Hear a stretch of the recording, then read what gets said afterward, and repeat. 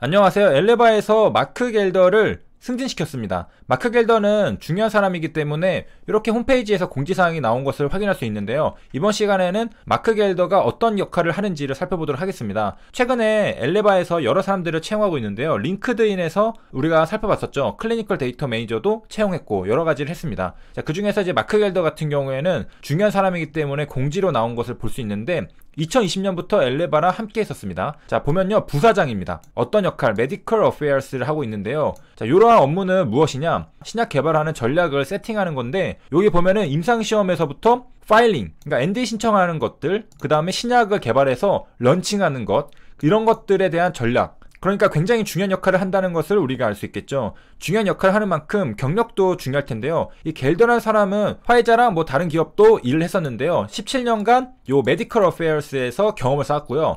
토탈로 치니까 35년간의 경험을 쌓아왔습니다.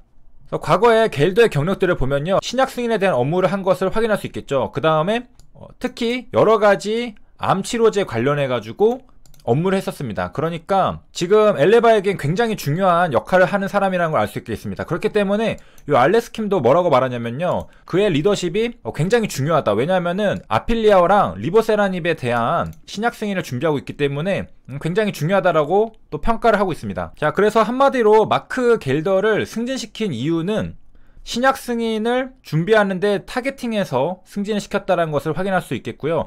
자, 그리고 겔더는 학자로서의 면모도 굉장히 보여주고 있는데, 여기 보면은 scientific paper를 여러 개 저술 했습니다.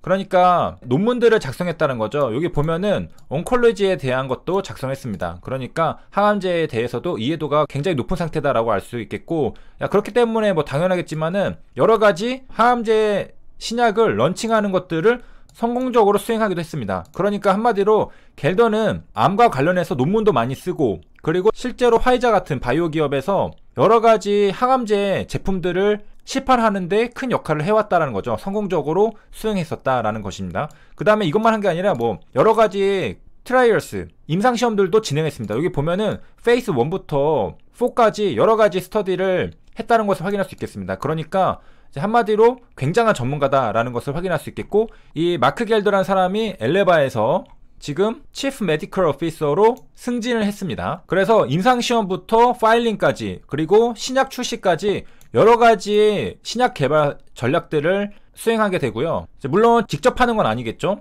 그래도 나름대로 고위직으로 올라간 건데 감독합니다. 뭐 임상시험 개발, medical affairs랑 그 다음에 뭐 NDA 제출 같은 거, 그 다음에 preclinical 이런 것들을 하는 팀들을 관리하는 역할을 하게 됩니다. 그러니까 총체적으로 관리하는 역할을 겔더가 하게 된다라는 것이고요.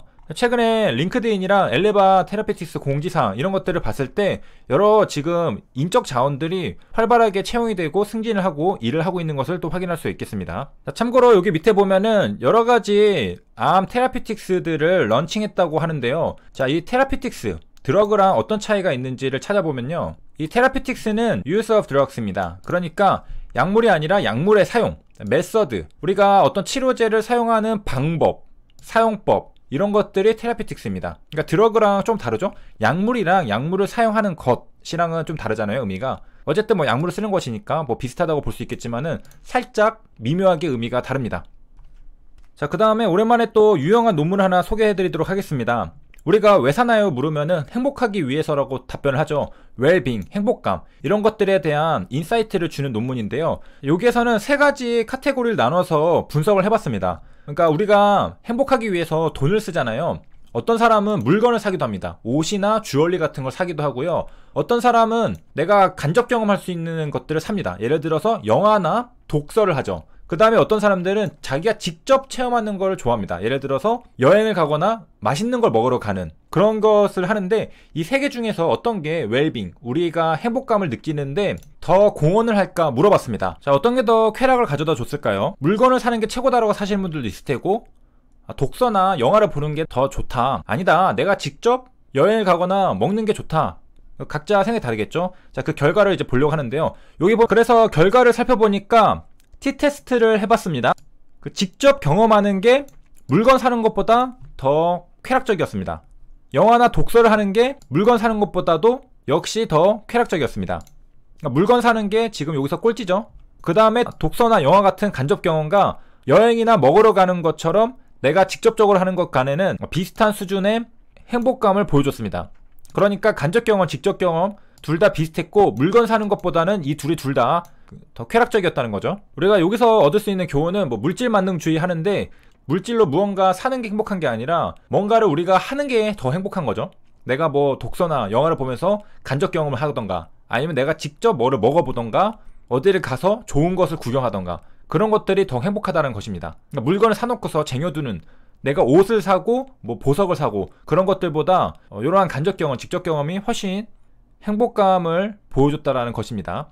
요게 스터디 1이고 2, 3도 있는데 어, 거기서도 우리가 인사이트를 얻을 수 있는 게 많은데요. 그거는 이제 다음에 다뤄드리도록 하고 요게 보면은 F라는 게 보이는데요. 이 F는 분산 분석에 사용이 됩니다. 여기서 우리가 전체 population의 모분산을 알 수가 없기 때문에 표본을 뽑아서 분산을 계산하죠. 그것을 표본 분산이라고 하는데 이것을 n-1로 나눠주게 되는데 이게 n이 아니라 n-1로 나누는 이유는 그러면은 값의 정확도가 더 높아집니다. 다른 말로 하면은 불편이라고 하는데요. 편향되지 않는다 라는 것입니다. 그걸 이제 불편 추정량이라고 하는데 이게 n-1로 나눠줬을 때 이 표본 분산의 기대값, 이 표본 분산들이 여러 개가 있을 거 아니에요. 그거의 기대값을 구하면은 모분산이 나온다는 것이 수학적으로 증명이 되어 있습니다. 그래서 n-1로 나누는 건데요. 자, 수학적으로 증명하는 것은 이제 패스하고 보면은 n-1로 나눈 표본 분산의 기대값을 계산을 해보면요. 마지막에 결국에 모분산이 나옵니다. 그러니까 표본 분산의 기대값이 모분산이 나오게 하려면은 이게 n-1로 나눠줘야 됩니다. 최종적으로 보면은 여기 끝에 n-1이 나오기 때문에 요게 분모에 n-1이 있어야 둘이 나눠지면서 모분산이 나오잖아요. 요게 만약에 n이 있었다면은 요게 나눠 떨어지지 않으면서 n분의 n-1이 됩니다. 그러면은 이게 정확하게 값이 나눠 떨어지지 않죠. 그렇기 때문에 n-1로 나눠줘야지 딱딱 약분이 되면서 모분산이 정확하게 나옵니다.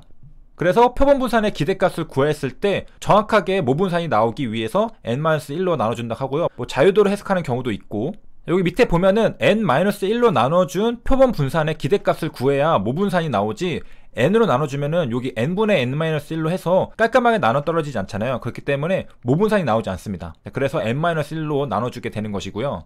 자 이렇게 해서 이번 시간에는 엘레바 테라피틱스에서 마크 겔더가 chief medical officer로 승진했다는 사실과 우리가 물건을 사는 것보다 간접 경험, 직접 경험이 더 행복하다라는 것을 살펴봤습니다. 그 다음에 엘레바 테라피틱스의 설명을 보면은 이제 파이프라인을 아필리아랑 리보세라닙을 두 개를 이제 딱 명시하는 것을 볼 수 있겠습니다. 그러니까 이제 엘레바에서 취급하는 파이프라인이 아필리아, 리보세라닙 딱 두 개가 있다. 예전에는 하나밖에 없었잖아요. 그런데 아필리아도 이렇게 이제 명시가 되어 있는 것을 또 확인할 수 있습니다. 자, 그래서 여기까지 시청해 주셔서 감사합니다.